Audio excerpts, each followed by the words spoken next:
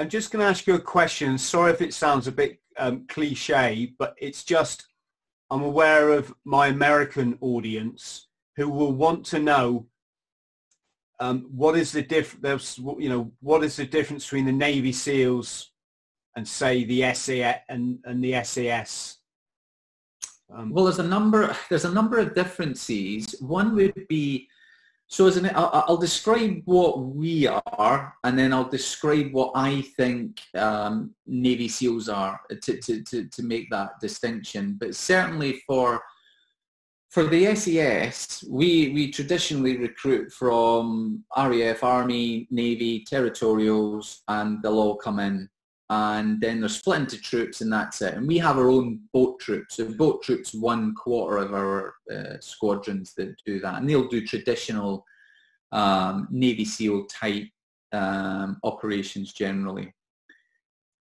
What happens normally for the SBS, the Special Boat Service, is that they are primarily recruited from Marines, and that Marines will then join the SBS and the SBS will then do their boat course, which our boat troop guys go and do with them.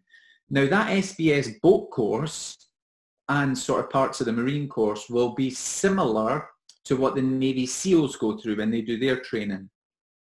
And the Navy SEALs, in my understanding, is that SEAL Team 6 are the sort of main counter-terrorist unit within the Navy SEALs they'll go through quite a rigorous um, sort of marine-based uh, selection process, which will have different modules attached to it. But then Navy SEALs, and this is where some people get um, mixed up, Navy SEALs are probably, particularly SEAL Team 6, are predominantly the main sort of door kickers, counter-terrorism unit within the US. People think it's um, Delta Force. Delta Force are completely separate, and Delta Force were modelled on um, the SAS. So there was a major, I'm trying to remember his name, um, he came across and he saw selection, he saw how the SAS were sort of um, structured and what they were meant for. And he went back and he designed almost a sort of replica in terms of a six-month selection process, what they were looking for and that made Delta Force, who are traditionally from all sorts, Green Berets, Rangers, and all that sort of stuff. And they, they have a counter-terrorism element to them as well, um, but they operate slightly differently in how they um, go about doing their business. And the only reason I say that is because I was fortunate enough to do an exchange with both of them.